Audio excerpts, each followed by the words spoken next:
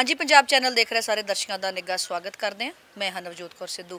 ਹਾਂਜੀ, ਪੰਜਾਬ ਚੈਨਲ ਦੇ ਮੰਚ ਤੇ ਹਰ ਰੋਜ਼ ਇੱਕ ਇਦਾਂ ਦੀ ਪ੍ਰੇਰਨਾ ਸਰੋਤ ਕਹਾਣੀ ਤੁਹਾਡੇ ਸਾਹਮਣੇ ਆਉਂਦੀ ਹੈ, ਜਿਹੜੀ ਕਿ ਉਸ ਵਰਗ ਦੇ ਨਾਲ ਜੁੜੀ ਹੁੰਦੀ ਹੈ, ਜਿਹੜਾ ਸਾਡੇ ਸਮਾਜ ਦਾ ਹਿੱਸਾ ਸਮਾਜ ਦੇ ਵਿੱਚ ਰਹਿੰਦੇ ਆ ਉਹ ਵਰਗ ਬਹੁਤ ਇਹੋ ਜਿਹਾ ਕੰਮ ਕਰਦਾ ਜਿਹੜੇ ਸਾਨੂੰ ਪ੍ਰੇਰਨਾ ਦਿੰਦੇ ਨੇ। ਇੱਕ ਇਹੋ ਜਿਹੇ ਬੱਚੇ, ਨਾਮ ਜਿਹਦਾ ਹਰਸ਼ਿਤ ਹੈ, ਕਲਾਸ ਜਿਹਦੀ 8ਵੀਂ ਹੈ ਤੇ ਜਿਹਦੀ ਉਮਰ ਦੀ ਅਸੀਂ ਗੱਲ ਕਰੀਏ, ਤਕਰੀਬਨ 14 ਕੁ ਸਾਲ ਉਮਰ ਹੈ ਉਹਦੀ, ਤੇ ਉਹ ਬੱਚੀ ਕਿਉਂ ਖਾਸ ਹੈ? ਕਿਉਂ ਅੱਜ ਹਾਂਜੀ ਪੰਜਾਬ ਚੈਨਲ ਦੀ ਟੀਮ ਉਹਨੂੰ ਮਿਲਣ ਲਈ ਪਹੁੰਚੀ ਹੈ? ਕਿਉਂ ਚਾਹੁੰਦੀ ਹੈ? ਉਹਦੀ ਪ੍ਰੇਰਨਾ ਸਰੋਤ ਕਹਾਣੀ ਤੁਹਾਡੇ ਨਾਲ ਸਾਂਝੀ ਕੀਤੀ ਜਾਵੇ, ਕਿਉਂਕਿ ਉਹ ਬੱਚੀ ਜੁੜੀ ਹੋਈ ਹੈ ਆਪਣੀਆਂ ਜੜ੍ਹਾਂ ਦੇ ਨਾਲ, ਜੁੜੀ ਹੋਈ ਹੈ ਆਪਣੇ ਵਿਰਸੇ ਦੇ ਨਾਲ, ਆਪਣੇ ਸੱਭਿਆਚਾਰ ਦੇ ਨਾਲ, ਆਪਣੇ ਭਾਰਤੀ ਸੱਭਿਆਚਾਰ ਦੀ। ਜਦੋਂ ਅਸੀਂ ਖਾਸ ਕਰਕੇ ਗੱਲ ਕਰਦੇ ਹਾਂ, ਗੱਲ ਕਰ ਰਹੇ ਹਾਂ ਕਲਾਸੀਕਲ ਡਾਂਸ ਦੀ, ਜਦੋਂ ਅੱਜ ਦੇ ਮਾਡਰਨ ਯੁੱਗ ਦੇ ਵਿੱਚ ਬਹੁਤ ਸਾਰੇ ਬੱਚੇ ਆਧੁਨਿਕਤਾ ਨੂੰ ਅਪਣਾ ਰਹੇ ਨੇ, ਜਿੱਥੇ ਕੋਸ਼ਿਸ਼ ਇਹ ਕਰ ਰਹੇ ਨੇ ਕਿ ਛੋਟੇ-ਛੋਟੇ ਕੱਪੜੇ ਪਾ ਕੇ ਸਟੇਜ ਤੇ ਜਾ ਕੇ ਰੋਕਿੰਗ ਰੋਲ ਕਰਕੇ ਆਪਣੀ ਨਾਮ ਨੂੰ ਜਿਹੜਾ ਅੱਗੇ ਵਧਾਇਆ ਜਾਵੇ, ਉੱਥੇ ਇਹ ਬੱਚਾ ਆਪਣੀਆਂ ਜੜ੍ਹਾਂ ਦੇ ਨਾਲ ਜੁੜ ਕੇ ਕਲਾਸੀਕਲ ਡਾਂਸ ਨੂੰ ਸਿੱਖ ਰਿਹਾ ਕੱਲਾ ਸਿੱਖ ਨਹੀਂ ਰਿਹਾ। ਉਸ ਬੱਚੇ ਦੀਆਂ ਉਪਲਬਧੀਆਂ ਦੇ ਬਾਰੇ ਜਦੋਂ ਅਸੀਂ ਗੱਲ ਕਰਦੇ ਹਾਂ, ਤੇ ਉਸ ਬੱਚੇ ਨੇ ਚਾਹੇ ਉਹ ਰਾਸ਼ਟਰੀ ਪੱਧਰ ਹੋਵੇ, ਚਾਹੇ ਅੰਤਰਰਾਸ਼ਟਰੀ ਪੱਧਰ ਹੋਵੇ, ਤੇ ਜਾਂ ਫਿਰ ਕਿਸਮੇ ਕਿਤਨਾ ਹੈ ਦਮ ਡੀਡੀ ਨੈਸ਼ਨਲ ਦਾ ਉਹ ਰੈਲਿਟੀ ਸ਼ੋਅ ਹੋਵੇ, ਜਿਹਦੀ ਉਹ ਵਿਨਰ ਵੀ ਰਹੀ ਹੈ, ਜਿੱਥੇ ਉਹਨੂੰ ਕੈਸ਼ ਪ੍ਰਾਈਜ਼ ਵੀ ਮਿਲਿਆ ਟਰੋਫੀ ਵੀ ਮਿਲੀ, ਤੇ ਇਸੇ ਤਰ੍ਹਾਂ ਦੇ ਹੋਰ ਬਹੁਤ ਸਾਰੇ ਸਟੇਟ ਤੇ ਨੈਸ਼ਨਲ ਲੈਵਲ ਦੇ ਅਣਗਿਣਤ ਕੰਪੀਟੀਸ਼ਨਸ ਨੇ ਜਿਹੜੇ ਉਹਨੇ ਜਿੱਤੇ ਨੇ। ਸੁਨੇਹਾ ਉਹ ਦੇ ਰਹੀ ਹੈ ਲੋਕਾਂ ਨੂੰ ਆਪਣੇ ਸੱਭਿਆਚਾਰ ਨੂੰ ਬਚਾ ਕੇ ਰੱਖਣ ਦਾ, ਤੇ ਉਹਨਾਂ ਦਾ ਰਾਹ ਦਸੇਰਾ ਉਹ ਬਣ ਰਹੀ ਹੈ। ਸੋ ਹਰਸ਼ਿਤਾ ਦੇ ਨਾਲ ਅੱਜ ਖਾਸ ਮੁਲਾਕਾਤ ਕਰਨ ਦੇ ਲਈ ਪਹੁੰਚੇ ਆ ਤੁਹਾਡੀ ਗੱਲਬਾਤ ਕਰਵਾਉਂਦੇ ਆ ਹਰਸ਼ਿਤਾ ਦੇ ਨਾਲ। ਹਰਸ਼ਿਤਾ ਬੱਚੇ ਬਹੁਤ ਬਹੁਤ ਸਵਾਗਤ ਕਰਦੇ ਆ ਥੈਂਕ ਯੂ ਹਾਂਜੀ, ਪੰਜਾਬ ਚੈਨਲ ਦਾ ਮੇਰਾ ਇੱਥੇ ਸਵਾਗਤ ਕਰਨ ਲਈ। ਸਵਾਗਤ ਤੁਹਾਡਾ ਕਰਨਾ ਬਣਦਾ ਕਿਉਂਕਿ ਤੁਹਾਡੀਆਂ ਜਿਹੜੀਆਂ ਅਚੀਵਮੈਂਟਸ ਨੇ, ਬੜੀਆਂ ਪਿਆਰੀਆਂ ਨੇ। ਅੱਛਾ, ਜਿਹੜੀ ਚੀਜ਼ ਨੇ ਸਾਨੂੰ ਸਭ ਤੋਂ ਜ਼ਿਆਦਾ ਖਿੱਚਿਆ ਸੀ ਉਹ ਇਹ ਸੀ ਕਿ ਅੱਜ ਕੱਲ ਜਿਹੜੇ ਬੱਚੇ ਨੇ ਉਹ ਵੈਸਟਰਨ ਵੱਲ ਨੂੰ ਬਹੁਤ ਝੁਕ ਰਹੇ ਆ। ਬੱਚਿਆਂ ਨੂੰ ਇਹ ਲੱਗਦਾ ਕਿ ਅਸੀਂ ਜਿਹੜੇ ਵੈਸਟਰਨ Song ਹੈ ਉਹਨਾਂ ਤੇ ਡਾਂਸ ਕਰਾਂਗੇ ਪਰਫਾਰਮ ਕਰਾਂਗੇ, ਸਾਨੂੰ ਲੋਕ ਜ਼ਿਆਦਾ ਨੋਟਿਸ ਕਰਦੇ ਆ। ਸਿੱਖਣਾ ਵੀ ਈਜ਼ੀ ਆ, ਅਸੀਂ ਫੇਮਸ ਵੀ ਬਹੁਤ ਜਲਦੀ ਹੋ ਜਾਂਦੇ ਆ। ਉਸ ਸਮੇਂ ਦੇ ਵਿੱਚ ਹਰਸ਼ਿਤਾ ਦਾ ਕਲਾਸੀਕਲ ਦੇ ਨਾਲ ਜੁੜਨਾ, ਕਿਵੇਂ ਇਹ ਸਫ਼ਰ ਸ਼ੁਰੂ ਹੋਇਆ? ਇਹ ਸਫ਼ਰ ਇਦਾਂ ਸ਼ੁਰੂ ਹੋਇਆ ਜਿੱਦਾਂ ਕਿ ਅੱਜ ਅਸੀਂ ਦੇਖ ਸਕਦੇ ਹਾਂ ਕਿ ਜਿੰਨੇ ਵੀ ਬੱਚੇ ਨੇ ਉਹ ਸਾਰੇ ਵੈਸਟਰਨ ਫਾਰਮਸ ਹੀ ਕਰਦੇ ਨੇ। ਕਲਾਸੀਕਲ ਕੋਈ ਕੋਈ ਕਰਦਾ ਤੇ ਮੈਂ ਮੇਰਾ ਸੁਪਨਾ ਇਹ ਸੀ ਕਿ ਮੈਂ ਕਲਾਸੀਕਲ ਨੂੰ ਬਹੁਤ ਬੜੇ ਸਟੇਜ ਤੇ ਰਿਪਰੈਜ਼ੈਂਟ ਕਰਾਂ ਤੇ ਮੈਂ ਬਹੁਤ ਸਾਰੇ ਨਾਮ ਵੀ ਹਾਸਿਲ ਕਰਾਂ। ਬਹੁਤ ਅੱਛੀ ਗੱਲ ਹੈ।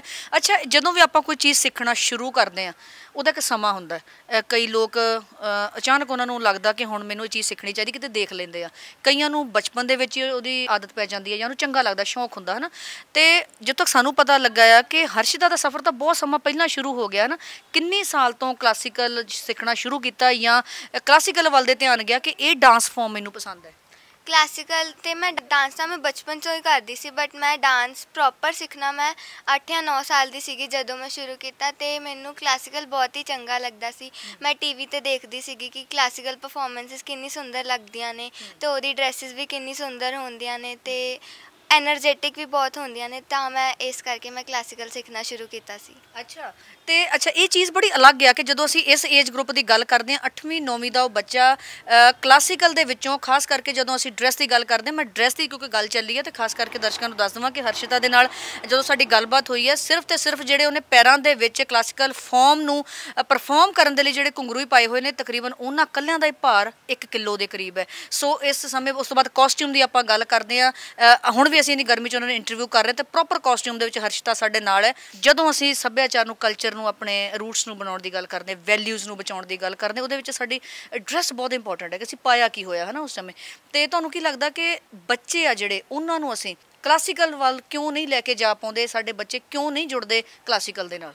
ਉਹ ਜਿੱਦਾਂ ਬੱਚੇ ਸੋਚਦੇ ਨੇ ਕਿ ਅੱਜ ਕੱਲ ਵੈਸਟਰਨ ਫਾਰਮਸ ਚੱਲਣ ਦਈਆਂ ਤੇ ਅਸੀਂ ਵੈਸਟਰਨ ਫਾਰਮਸ ਹੀ ਕਰਨੀਆਂ ਤੇ ਜਿਹੜੇ ਟੀਵੀ ਰਿਐਲਿਟੀ ਸ਼ੋਜ਼ ਹੁੰਦੇ ਉਹਦੇ ਵੀ ਜੱਜਸ ਚਾਹੁੰਦੇ ਨੇ ਕਿ ਬੱਚੇ ਵੈਸਟਰਨ ਫਾਰਮਸ ਕਰਨ ਤੇ ਕਲਾਸੀਕਲ ਨੂੰ ਕੋਈ ਪ੍ਰੈਫਰ ਨਹੀਂ ਕਰਦਾ ਤੇ ਇਸ ਕਰਕੇ ਮੈਂ ਚਾਹੁੰਦੀ ਹਾਂ ਕਿ ਮੈਂ ਤਾਂ ਕਰਾਂ ਹੀ ਕਰਾਂ ਕਲਾਸੀਕਲ ਤੇ ਹੋਰ ਵੀ ਕਿੰਨੇ ਸਾਰੇ ਬੱਚੇ ਕਲਾਸੀਕਲ ਕਰਨ ਤੇ ਬਹੁਤ ਵੱਡੇ ਵੱਡੇ ਸਟੇਜ ਤੇ ਕਲਾਸੀਕਲ ਨੂੰ ਰਿਪਰੈਜ਼ੈਂਟ ਕਰਨ ਤੇ ਬਹੁਤ ਸਾਰੇ ਨਾਮ ਹਾਸਿਲ ਕਰਨ।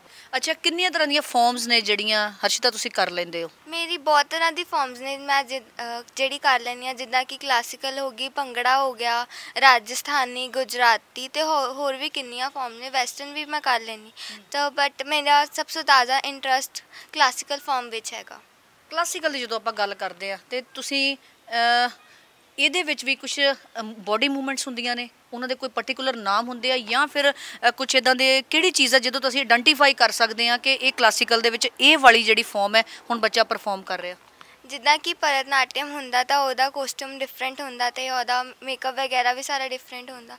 ਤੇ ਭਰਤਨਾਟਿਅਮ 'ਚ ਅਸੀਂ ਆਈਜ਼ ਦਾ ਯੂਜ਼ ਕਰਦੇ ਹਾਂ ਆਈਜ਼ ਇਧਰ ਉਧਰ ਯੂਜ਼ ਕਰਦੇ ਹਾਂ ਤੇ ਉਹ ਤੋਂ ਅਸੀਂ ਜਸਟੀਫਾਈ ਕਰ ਸਕਦੇ ਹਾਂ ਕਿ ਬੱਚਾ ਭਰਤਨਾਟਿਅਮ ਕਰਦਾ ਹੈ। ਜਿੱਦਾਂ ਅਸੀਂ ਕਲਾਸੀਕਲ ਕਰਦੇ ਹਾਂ ਤੇ ਕਲਾਸੀਕਲ ਵਿੱਚ ਅਸੀਂ ਮੋਸਟਲੀ ਲਹਿੰਗਾ ਚੋਲੀ ਪਾਉਂਦੇ ਹਾਂ ਜਾਂ ਫਿਰ ਅਨਾਰਕਲੀ ਸੂਟ ਪਾਉਂਦੇ ਹਾਂ ਤੇ ਸਾਡਾ ਫਸਟ ਮੂਵਮੈਂਟ ਇਹ ਹੁੰਦੀ ਹੈ ਤੇ ਉਸ ਤੋਂ ਪਹਿਲਾਂ ਅਸੀਂ ਪ੍ਰਣਾਮ ਕਰਦੇ ਹਾਂ।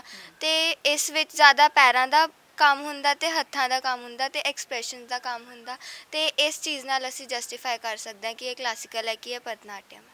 એનર્ਜੀ ਕਿੱਦਾਂ ਫਿਰ ਕਿੰਨੀ એનર્ਜੀ ਚਾਹੀਦੀ ਹੁੰਦੀ, ਕਿਉਂਕਿ ਜਦੋਂ ਅਸੀਂ ਤੁਸੀਂ ਕਲਾਸਿਕਲ ਕਰ ਰਹੇ ਸੀਗੇ ਤੇ ਕਲਾਸੀਕਲ ਸ਼ਾਇਦ ਤੁਸੀਂ ਕਰ ਰਹੇ ਸੀ ਪਰ ਸਾਨੂੰ ਮਹਿਸੂਸ ਹੋ ਰਿਹਾ ਸੀ ਕਿ ਉਸ ਸਮੇਂ ਬਾਡੀ ਨੂੰ ਕਿੰਨੀ એનર્ਜੀ ਕਿੰਨੀ ਐਕਟਿਵਨੈਸ ਬਾਡੀ ਨੂੰ ਚਾਹੀਦੀ ਹੈ। ਕਿੰਨੀ ਤੁਹਾਨੂੰ ਲੱਗਦਾ ਕਿ ਸਟਰੋਂਗ ਅਸੀਂ ਹੋਣੇ ਚਾਹੀਦੇ ਫਿਜ਼ੀਕਲੀ ਮੈਂਟਲੀ ਕਲਾਸੀਕਲ ਨੂੰ ਪਰਫਾਰਮ ਕਰਨ ਦੇ ਲਈ? ਕਲਾਸੀਕਲ ਨੂੰ ਪਰਫਾਰਮ ਕਰਨ ਲਈ ਸਾਨੂੰ ਬਹੁਤ ਸਟਰੋਂਗ ਹੋਣਾ ਚਾਹੀਦਾ ਕਿਉਂਕਿ ਜੇ ਅਸੀਂ ਸਟਰੋਂਗ ਹੋਵਾਂਗੇ ਸਾਡੇ ਵਿੱਚ એનર્ਜੀ ਹੋਵੇਗੀ ਤਾਂ ਅਸੀਂ ਬਹੁਤ ਅੱਛਾ ਪਰਫਾਰਮ ਕਰ ਪਾਵਾਂਗੇ ਤੇ ਜੱਜਸ ਨੂੰ ਵੀ ਅੱਛਾ ਲੱਗੇਗਾ ਤੇ ਜਿਹੜੀ ਆਡੀਅנס ਬੈਠੀ ਹੋਵੇਗੀ ਉਹਨਾਂ ਨੂੰ ਵੀ ਅੱਛਾ ਲੱਗੇਗਾ ਤੇ ਉਹ ਖੁਸ਼ ਹੋਵੇਂਗੇ। ਸਪੈਸ਼ਲ ਕੋਈ ਖਾਸ ਤਰੀਕੇ ਦਾ ਭੋਜਨ ਡਾਈਟ ਤੁਸੀਂ ਲੈਂਦੇ ਹੋ ਜਿਹਦੇ ਤੁਹਾਨੂੰ ਲੱਗੇ ਕਿ ਮੈਨੂੰ ਇੱਥੋਂ ਜ਼ਿਆਦਾ એનર્ਜੀ ਮਿਲਦੀ ਹੈ ਤਾਂ ਕਿ ਮੈਂ ਸਟੇਜ ਦੇ ਉੱਤੇ ਕਦੋਂ ਵੀ ਪਰਫਾਰਮ ਕਰਨੀ ਹੈ, ਮੈਂ ਕਿਸੇ ਤਰ੍ਹਾਂ ਦੀ ਕੋਈ ਮੂਵਮੈਂਟ ਕਰਨੀ ਹੈ, ਚਾਹੇ ਮੈਂ ਘੁੰਮਣਾ ਹੈ ਕੁਝ ਵੀ ਕਰਨਾ, ਮੇਰੀ એનર્ਜੀ ਦਾ ਲੈਵਲ ਜਿਹੜਾ ਡਾਊਨ ਨਾ ਹੋਵੇ, ਕੋਈ ਖਾਸ ਤਰ੍ਹਾਂ ਦੀ ਡਾਈਟ ਸਾਨੂੰ ਮੈਕਸਿਮਮ ਹੈਲਦੀ ਡਾਈਟ ਖਾਣੀ ਚਾਹੀਦੀ ਹੈ ਜਿੱਦਾਂ ਫਰੂਟਸ ਹੈਗੇ ਨੇ ਪਰਫਾਰਮ ਕਰਨ ਤੋਂ ਪਹਿਲਾਂ ਸਾਨੂੰ ਫਰੂਟਸ ਖਾਣੇ ਚਾਹੀਦੇ ਨੇ ਤਾਂ ਅਸੀਂ ਅੱਛੇ ਤਰ੍ਹਾਂ ਪਰਫਾਰਮ ਕਰ ਸਕਦੇ ਹਾਂ ਤੇ ਸਾਡੇ ਵਿੱਚ એનર્ਜੀ ਵੀ ਰਹਿੰਦੀ ਹੈ ਪਰਫਾਰਮ ਕਰਨ ਦੀ। ਡਾਈਟ ਤਾਂ ਜਿੱਦਾਂ ਸਟੇਜ ਤੇ ਪਰਫਾਰਮ ਕਰਨ ਤੋਂ ਪਹਿਲਾਂ ਮੈਂ ਬਨਾਨਾ ਖਾਂਦੀ ਹਾਂ ਤੇ ਉਹ ਤੋਂ ਮੈਨੂੰ એનર્ਜੀ ਆਉਂਦੀ ਹੈ ਤੇ ਉਹ ਫਿਰ ਉਸ ਤੋਂ ਬਾਅਦ ਜਦੋਂ ਮੈਂ ਸਟੇਜ ਤੇ ਪਰਫਾਰਮ ਕਰਦੀ ਹਾਂ ਤਾਂ ਮੈਨੂੰ ਪਰਫਾਰਮ ਕਰਕੇ ਬਹੁਤ ਅੱਛਾ ਲੱਗਦਾ ਤੇ ਪਰਫਾਰਮ ਕਰਨ ਤੋਂ ਬਾਅਦ ਵੀ ਮੈਨੂੰ ਇਦਾਂ ਲੱਗਦਾ ਕਿ ਮੇਰੀ એનર્ਜੀ ਹਲੇ ਘਟੀ ਨਹੀਂ ਹੈਗੀ। ਕਿਉਂਕਿ ਡਾਈਟ ਜਿਹੜੀ ਆ ਉਹ ਇੰਪੋਰਟੈਂਟ ਬਹੁਤ ਹੈ, ਕਿਉਂਕਿ ਜਦੋਂ ਅਸੀਂ ਕੋਈ ਵੀ ਕੰਮ ਕਰ ਰਹੇ ਆ ਖੇਡਦੇ ਆ ਪੜ੍ਹਦੇ ਆ ਡਾਂਸ ਪਰਫਾਰਮੈਂਸ ਦਿੰਦੇ ਆ ਜੋ ਖਾਂਦੇ ਆ ਉਹ ਸਾਡੇ ਅੰਦਰ ਜਾ ਕੇ ਬੋਲਦਾ ਆ, ਪਤਾ ਲੱਗਦਾ ਸਾਡੀ એનર્ਜੀ ਦੇ ਵਿੱਚੋਂ ਕਿ ਅਸੀਂ ਕੀ ਖਾ ਕੇ ਆਏ ਆ ਅੱਛਾ ਹਰਸ਼ਿਤਾ, ਰਿਆਜ਼ ਦੀ ਆਪਾਂ ਹੈਸਲ ਦੀ ਗੱਲ ਕਰਦੇ ਕੋਈ ਵੀ ਆਪਾਂ ਕੰਮ ਕਰਨਾ, ਚਾਹੇ ਆਪਾਂ ਪੜ੍ਹਨਾ ਹੀ ਆ, ਪੜ੍ਹ ਕੇ ਨੰਬਰ ਲੈਣੇ ਆ, ਕੋਈ ਟੈਸਟ ਛੋਟਾ, ਉਹਨੂੰ ਪ੍ਰਪੇਅਰ ਕਰਨਾ ਸਾਨੂੰ ਪ੍ਰੈਕਟਿਸ ਦੀ ਬਹੁਤ ਲੋੜ ਪੈਂਦੀ ਹੈ। ਸੋ ਇਹਦੇ ਲਈ ਕਿੰਨਾ ਤੁਹਾਨੂੰ ਪ੍ਰੈਕਟਿਸ ਕਰਨੀ ਪੈਂਦੀ ਹੈ? ਕਿਸੇ ਖਾਸ ਜਗ੍ਹਾ 'ਚ ਜਾ ਕੇ ਪ੍ਰੈਕਟਿਸ ਕਰਦੇ ਹੋ? ਕੋਈ ਗੁਰੂ ਹੈ ਅਕੈਡਮੀ ਕੋਈ ਜੁਆਇਨ ਕੀਤੀ ਹੋਈ ਆ ਜਾਂ ਘਰ 'ਚ ਹੀ ਪ੍ਰੈਕਟਿਸ ਕਰਦੇ ਹੋ? ਜਿੱਦਾਂ ਮੈਂ ਅਕੈਡਮੀ ਵੀ ਜਾਂਦੀ ਹਾਂ ਤੇ ਉੱਥੇ ਵੀ ਮੈਂ 1 ਘੰਟਾ ਪ੍ਰੈਕਟਿਸ ਕਰਦੀ ਹਾਂ ਤੇ ਸਾਨੂੰ ਮੋਸਟਲੀ ਕਥਕ ਵਿੱਚ ਤਤਕਾਰ ਹੁੰਦੀ ਹੈ। ਉਹਦੀ ਪ੍ਰੈਕਟਿਸ ਜ਼ਿਆਦਾ ਤੋਂ ਜ਼ਿਆਦਾ ਕਰਨੀ ਚਾਹੀਦੀ ਹੈ। ਕਿੰਨਾ ਟਾਈਮ ਪ੍ਰੈਕਟਿਸ ਕਰਦੇ ਹੋ ਇੱਕ ਦਿਨ ਦੇ ਵਿੱਚ? ਇੱਕ ਦਿਨ ਚ ਤਾਂ ਜਿੱਦਾਂ ਜਦੋਂ ਮੈਂ ਅਕੈਡਮੀ ਜਾਂਦੀ ਹਾਂ ਤਾਂ 1 ਘੰਟਾ ਉਹ ਤੋਂ ਬਾਅਦ ਘਰ ਵੀ ਮੈਂ ਆਧਾ ਪੌਣਾ ਘੰਟਾ ਕਰ ਲੈਂਦੀ ਹਾਂ ਪ੍ਰੈਕਟਿਸ ਤਤਕਾਰ ਦੀ। ਅੱਛਾ ਪੜ੍ਹਾਈ ਤੇ ਡਾਂਸ ਕਿਉਂਕਿ ਜਦੋਂ ਅਸੀਂ ਤੁਹਾਡੀ ਤੁਹਾਡੇ ਬਾਰੇ ਪੜ੍ਹਿਆ, ਸੁਣਿਆ, ਤਾਂ ਤੁਸੀਂ ਸਿਰਫ ਕਲਾਸੀਕਲ ਨਹੀਂ ਕਰਦੇ, ਤੁਸੀਂ ਆਰਟਸ ਵੱਲ ਵੀ ਧਿਆਨ ਹੈ ਮਾਡਲਿੰਗ ਵੀ ਕਰਦੇ ਹੋ ਫੋਕ ਵੱਲ ਵੀ ਜੁੜੇ ਹੋਏ ਹੋ, ਬਹੁਤ ਸਾਰੇ ਜਿਹੜੀਆਂ ਅਲੱਗ-ਅਲੱਗ ਐਕਟੀਵਿਟੀਜ਼ ਨੇ ਤੁਸੀਂ ਉਹਦੇ ਵਿੱਚ ਪਾਰਟਿਸਿਪੇਟ ਕਰਦੇ ਹੋ। ਸਟੱਡੀ ਦੀ ਜਦੋਂ ਆਪਾਂ ਗੱਲ ਕਰਦੇ ਹਾਂ ਸਟੱਡੀ ਦੇ ਵਿੱਚ ਕਿਹੋ ਜਿਹਾ ਰੁਝਾਨ ਹੈ ਤੇ ਸਟੱਡੀ ਨੂੰ ਕਿਵੇਂ ਫਿਰ ਮੈਨੇਜ ਕਰਦੇ ਹੋ ਉਹਦੇ ਨਾਲ? ਸਟੱਡੀ ਨੂੰ ਜਿੱਦਾਂ ਇਦਾਂ ਹੁੰਦਾ ਸਕੂਲੋਂ ਜਦੋਂ ਮੈਂ ਘਰ ਜਾਂਦੀ ਹਾਂ ਤਾਂ ਉਸ ਤੋਂ ਬਾਅਦ ਮੈਂ ਡਾਂਸ ਲੈ ਜਾਂਦੀ ਹਾਂ ਤੇ ਫਿਰ ਉਸ ਤੋਂ ਬਾਅਦ ਮੈਂ ਟਿਊਸ਼ਨ ਵਿੱਚ ਵੀ ਪੜ੍ਹਦੀ ਹਾਂ ਤੇ ਮੈਂ ਘਰ ਆ ਕੇ ਵੀ ਪੜ੍ਹਦੀ ਹਾਂ ਤੇ ਰਾਤੀ ਵੀ ਮੈਂ ਪੜ੍ਹ ਲੈਂਦੀ ਹਾਂ ਕਦੀ ਕਦੀ ਵਾਰੀ। ਜੇ ਕਦੇ ਟੈਸਟ ਹੋਵੇ ਤਾਂ ਫਿਰ ਪੂਰਾ ਦਿਨ ਪੜ੍ਹਨਾ ਪੈਂਦਾ ਤੇ ਪੜ੍ਹ ਕੇ ਵੀ ਬਹੁਤ ਮਜ਼ਾ ਆਉਂਦਾ। ਅੱਛਾ ਕਈ ਵਾਰੀ ਪਤਾ ਕੀ ਹੁੰਦਾ ਜਿੱਦਾਂ ਸਾਡੇ ਸਮਾਜ ਦੇ ਵਿੱਚ ਬਹੁਤ ਸਾਰੇ ਲੋਕ ਇਦਾਂ ਦੇ ਆ ਚਾਹੇ ਸਾਡੇ ਘਰ ਪਰਿਵਾਰ 'ਚ ਆ ਚਾਹੇ ਫਰੈਂਡ ਸਰਕਲ ਹੈ ਚਾਹੇ ਤੁਸੀਂ ਸਕੂਲ 'ਚ ਪੜ੍ਹਦੇ ਹੋ ਤੁਹਾਡੇ ਉੱਥੇ ਸਰਕਲ ਦੇ ਵਿੱਚ ਲੋਕ ਨੇ।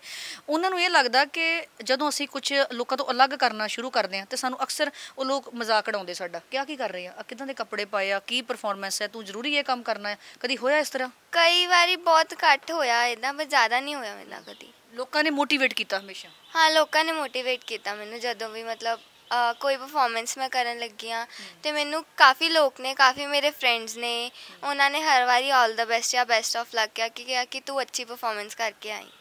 ਅੱਛਾ ਅਗਲਾ ਏਜੰਡਾ ਕੀ ਹੈ? ਕੀ ਸੁਪਨਾ ਹੈ ਹਰਸ਼ਿਤਾ ਦਾ? ਉਹ ਕਿੱਥੋਂ ਤੱਕ ਪਹੁੰਚਣਾ ਚਾਹੁੰਦੀ ਹੈ? ਕਿੱਥੋਂ ਤੱਕ ਪਰਫਾਰਮ ਕਰਨਾ ਚਾਹੁੰਦੀ ਹੈ? ਮੈਂ ਵੱਡੇ ਹੋ ਕੇ ਇੱਕ ਤਾਂ ਬਹੁਤ ਵੱਡੀ ਡਾਂਸਰ ਬਣਨਾ ਚਾਹੁੰਦੀ ਹਾਂ ਤੇ ਫਿਲਮ ਇੰਡਸਟਰੀ ਵਿੱਚ ਇੱਕ ਬਹੁਤ ਵਧੀਆ ਤੇ ਬਹੁਤ ਹੀ ਜਾਣੀ ਪਹਿਚਾਨ ਜਾਣ ਵਾਲੀ ਕੋਰੀਓਗ੍ਰਾਫਰ ਬਣਨਾ ਚਾਹੁੰਦੀ ਹਾਂ ਕਿ ਮੈਂ ਟੀਵੀ ਰਿਐਲਿਟੀ ਸ਼ੋਜ਼ ਵੀ ਜਿਹੜੇ ਉਹਨਾਂ ਵਿੱਚ ਬੱਚੇ ਆਉਂਦੇ ਨੇ, ਉਹਨਾਂ ਨੂੰ ਵੀ ਕੋਰੀਓਗ੍ਰਾਫ ਕਰਾਂ ਤੇ ਉਹ ਅਕੈਡਮੀ ਮੈਂ ਖੋਲਣਾ ਚਾਹੁੰਦੀ ਹਾਂ, ਜਿਹਦੇ ਵਿੱਚ ਸਭ ਤੋਂ ਜ਼ਿਆਦਾ ਮੈਂ ਕਲਾਸੀਕਲ ਫਾਰਮ ਸਿਖਾਵਾਂ ਕਿਉਂਕਿ ਉਹ ਸਾਡੇ ਕਲਚਰ ਨਾਲ ਰਿਲੇਟਡ ਹੈ ਤੇ ਅੱਜਕੱਲ ਲੋਕੀ ਕਲਾਸੀਕਲ ਨੂੰ ਪ੍ਰੈਫਰ ਨਹੀਂ ਕਰਦੇ ਤੇ ਮੈਂ ਇਹੀ ਚਾਹਾਂਗੀ ਕਿ ਮੈਂ ਆਪਣੀ ਅਕੈਡਮੀ ਵਿੱਚ ਜਿੰਨੇ ਵੀ ਬੱਚੇ ਨੇ, ਚਾਹੇ ਮੁੰਡੇ ਨੇ, ਚਾਹੇ ਕੁੜੀਆਂ ਨੇ, ਸਭ ਨੂੰ ਮੈਂ ਕਲਾਸੀਕਲ ਸਿਖਾਵਾਂ ਤਾਂ ਕਿ ਉਹ ਇਸ ਫਾਰਮ ਨੂੰ ਅੱਗੇ ਜਾ ਕੇ ਰਿਪਰੈਜ਼ੈਂਟ ਕਰ ਸਕਣ ਤੇ ਕਲਾਸੀਕਲ ਦੀ ਗਿਣਤੀ ਵੀ ਜ਼ਿਆਦਾ ਹੋਵੇ, ਜਿੱਦਾਂ ਹੋਰ ਫੋ- ਫਾਰਮਾਂ ਦੀ ਜ਼ਿਆਦਾ ਹੈ। ਹੈਗੀ ਗਿਣਤੀ ਸੋ ਸ਼ਾਲਾ ਜੋ ਹਰਸ਼ਿਤਾ ਦੇ ਸੁਪਨੇ ਨੇ, ਉਹ ਪੂਰੇ ਜ਼ਰੂਰ ਹੋਣਗੇ ਕਿਉਂਕਿ ਬੱਚੇ ਦੀ ਜਿਹੜੀ ਸੋਚ ਹੈ, ਉਹ ਬਹੁਤ ਪਿਆਰੀ ਹੈ। ਆਪਣੇ ਕਲਚਰ ਨੂੰ, ਆਪਣੇ ਸੱਭਿਆਚਾਰ ਨੂੰ ਅੱਗੇ ਵਧਾਉਣਾ ਚਾਹੁੰਦੇ ਨੇ ਤਾਂ ਅਸੀਂ ਉਮੀਦ ਕਰਾਂਗੇ, ਅਰਦਾਸ ਕਰਾਂਗੇ, ਦੁਆ ਕਰਾਂਗੇ ਇਹਨਾਂ ਦੇ ਮਾਤਾ-ਪਿਤਾ ਦਾ, ਇਹਨਾਂ ਦੇ ਅਧਿਆਪਕਾਂ ਦਾ।